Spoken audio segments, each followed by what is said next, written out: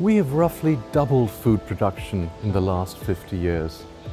But this has come at a very great cost. It's come at a cost of destroying large swathes of forest. In fact, agriculture is the main driver of forest loss through much of the world. As the world's population hurtles towards 10 billion people, can we feed a growing population without destroying our remaining forests? Nature's Frontiers, a new report, tries to answer this question.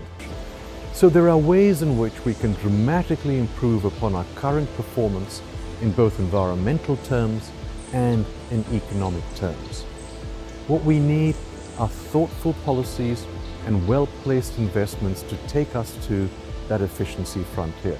We need policies such as payments for ecosystem services, rezoning land, subsidy reform, pricing, and so on.